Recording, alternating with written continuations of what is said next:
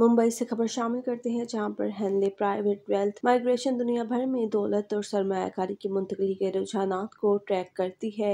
इसने अपने 2023 की रिपोर्ट जारी करते हुए कहा कि रवा साल के दौरान चीन और भारत से बड़ी तादाद में करोड़पति अफराद हिजरत करके दूसरे मुल्कों में चले गए। रिपोर्ट में कहा गया है कि इस साल मुल्क में करोड़पति अफराद की खराज के लिहाज से चीन पहले नंबर पर है। इसके साढ़े तेरह हज़ार अमीर तरीन अफराद मुल्क छोड़ देंगे। इसके बाद हिंदुस्तान है जिसने दूसरा मुकाम हासिल किया है। ताहम रिपोर्ट में दूसरे सबसे बड़े एग्जिट नंबर होने के बावजूद हिंदुस्तान की पोजीशन पिछले साल से बेहतर होने का इम्कान है। गुजशत साल सात हज़ार पाँच सौ करोड़पतियों ने भारत छोड़ा था, जबकि रवा साल ये नंबर साढ़े छः हज़ार रहेगा।